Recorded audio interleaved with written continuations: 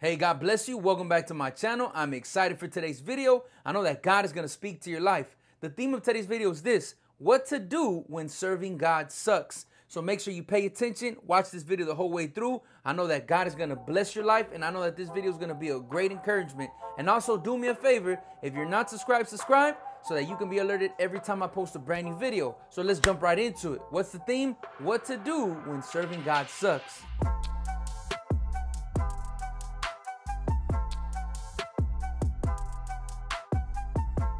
So, what's the question? What to do when serving God sucks? This is what you need to do. You need to stay committed. I want to tell you a story of a man named Silas. A lot of people have heard about this man because he's in a story, very famous story in the Bible with the Apostle Paul. But before I tell you the famous story that everybody knows about, and it shows us the perfect example of what we need to do when serving God sucks, when serving God isn't always the most favorable times or when it's putting us through difficult situations or trials or rejections or mistreatings, right, because of our faith.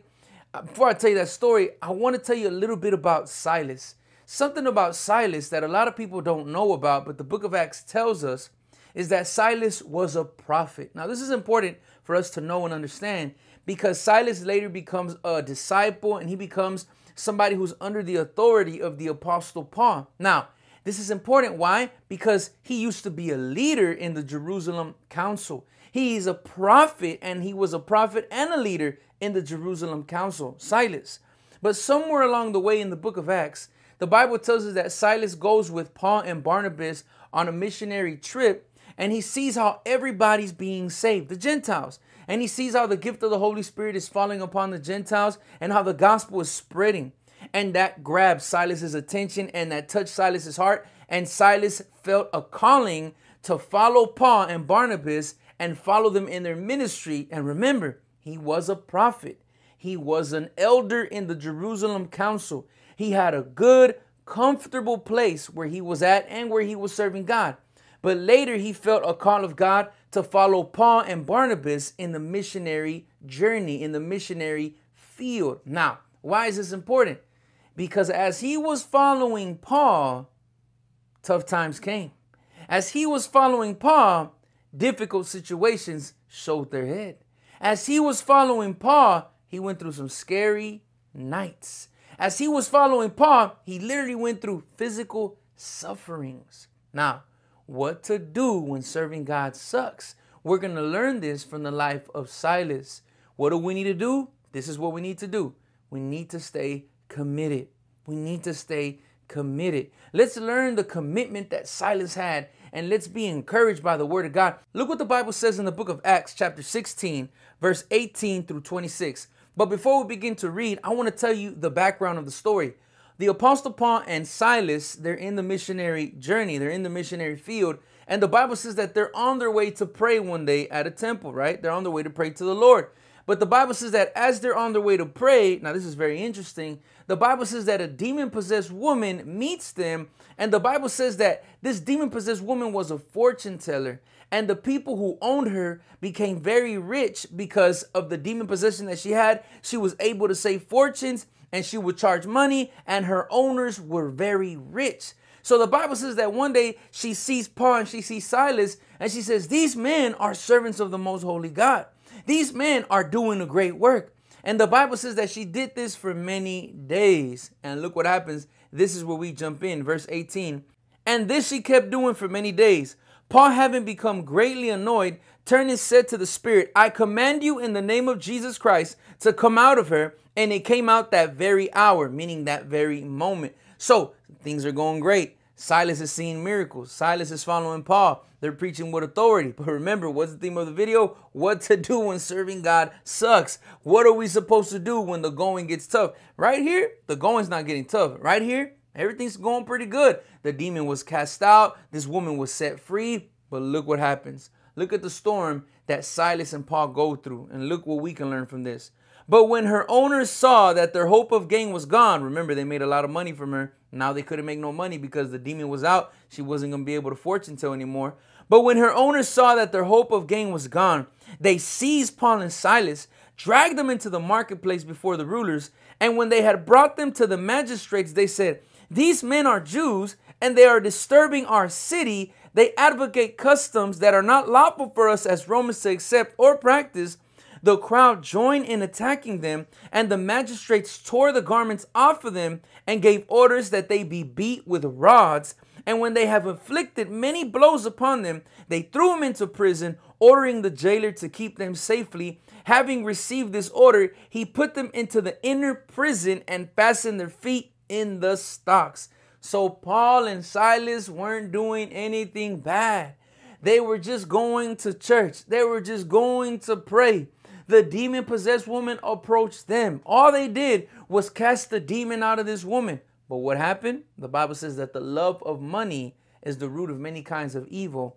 When the owners of this woman saw that they could not make any more money from this woman because the demon had been cast out by Paul and Silas, they became angry and they started bringing up all these accusations against them and they started making all these false cases against them.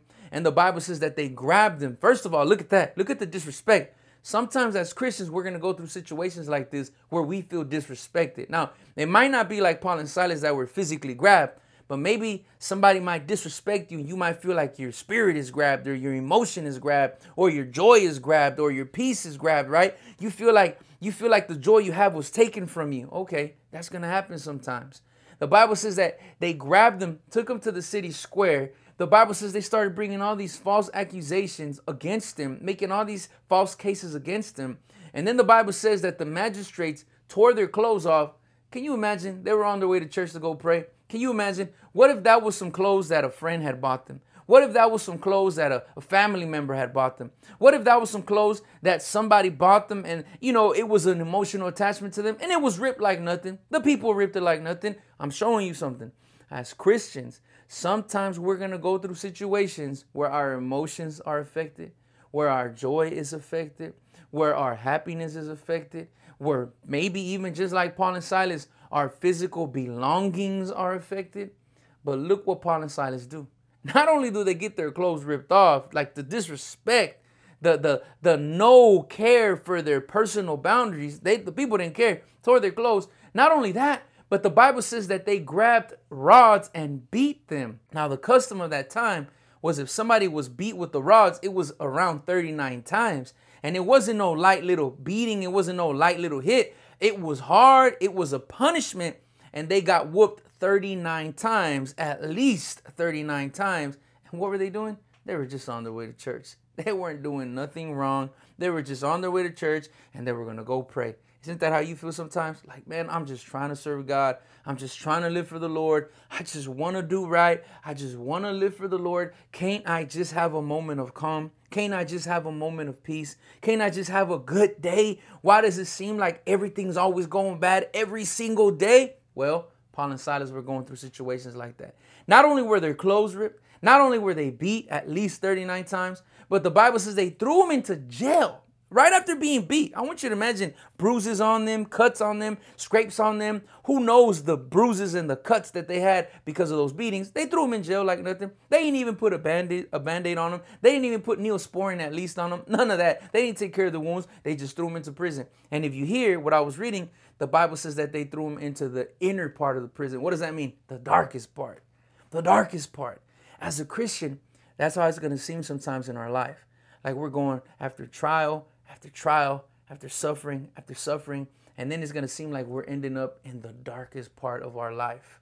But look what the Bible says. After they were beat, after their clothes was ripped, after they were thrown into prison, the Bible says that they also put bondages on their feet. The Bible says that they put them in stocks. Like, man, now I'm never going to get out of here. Now I'm never going to be set free. After trial, after trial, after trial, after trial. But look what we can learn from Paul. Look what we can learn from Silas. Look what we can learn when serving God sucks. Look what they did. Look at the commitment they had. But about midnight, Paul and Silas were praying and singing hymns to God and the prisoners were listening to them. What were they doing after being beat? After having their personal belongings torn? What were they doing after having stocks on their ankles and chains on their hands? What were they doing? Praying and singing songs to God. Where were they on their way to before that demon possessed woman appeared to them? They were on their way to go pray and to go sing. What happened? They were beat, Their clothes was ripped. They were thrown into jail, into the deepest, darkest part of the jail. But what are they doing? Hey, we were on our way to church to pray and to sing to the Lord, and we're in jail. But what are we going to do? We're still going to pray and we're still going to sing to the Lord. What can we learn from Paul and Silas? They were committed. They weren't committed to the good days. They weren't committed to cake and ice cream. They weren't committed to beautiful butterflies and seasons of just beautiful things. No, they were committed to the Lord. I want to tell you, when you go through a difficult time, when you go through a difficult situation, the thing that's going to help you go out through that valley of the shadow of death, the way the book of Psalms, chapter 23 says, what's going to help you come out of that valley of the shadow of death is your commitment to God.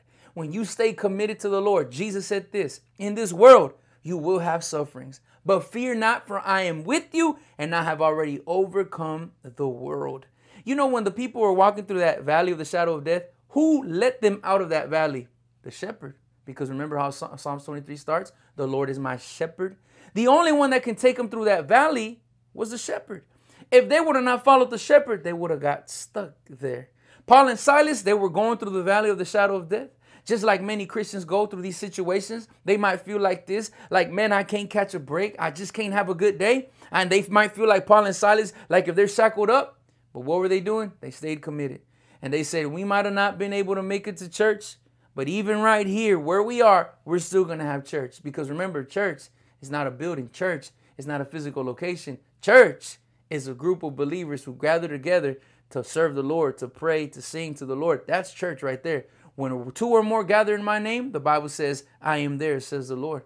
So the Bible says that they began to pray. They began to sing songs to God. And the Bible says why this was going on. The Bible says that the prisoners were listening to them. I want to tell you, as you're serving God and you're going through your trials, you're going through situations, I want to tell you that people are looking at you and they're seeing how you're reacting. And not only that, but when the Lord brings you out, because the Lord will bring you out, when you come out of that valley, when you come out of those stocks, when you come out of that suffering, because you will come out. That's a promise of the Lord. You will come out. The Bible says, I've never seen the king's children forsaken. I've never seen the righteous begging for bread. You will come out.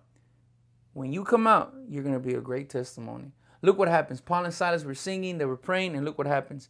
And suddenly there was a great earthquake, so that the foundations of the prisons were shaken, and immediately all the doors were open, and everyone's bonds were unfastened. What happened? Because Paul and Silas were committed to the Lord. What happened? Because Paul and Silas said, you know what? I'm still going to pray. I'm still going to worship the Lord. What happened? The Bible says that the earth shook. And the Bible says that the doors were open and the bonds fell off of not just Paul and Silas, fell off of everyone that was in the jail. What does this symbolize for us today? When you serve the Lord and when you're going through situations that are not the most pleasant, but you stay committed to the Lord, not only will you see the victory of God, but other people will also be able to experience the freedom and victory of God through your testimony. I hope this video was a great blessing to your life. What to do when serving God sucks? Stay committed. Learn from Paul and Silas. Even in the hard times, keep living that life of prayer. What does that mean? Keep seeking the Lord. Keep singing those songs. What does that mean? You keep knowing that God is good no matter what. And what's going to happen? The Bible says that you will see the victory of the Lord. Just like Paul and Silas saw it, you're going to see it too. And not just you are going to experience the victory, but other people are also going to be able to experience the victory and freedom because of the testimony that you showed them. So I hope this video was a great blessing to your life. If it was, do me a favor, subscribe and turn on those post notifications so that you can be alerted every time I post a brand new video. And also, if this video bless you, press the like button because the more people that press the like button helps this video reach more people. And that's what it's all about reaching people for the honor and glory of Jesus Christ. So, what do you do when serving God sucks? You stay committed, and you will see. The Bible promises us you will see the victory of the Lord in your life. And not only you, but other people also. And before you click off, make sure you watch one of these videos. I know that there will be a great blessing to your life. God bless you. I'll see you soon, Lord willing.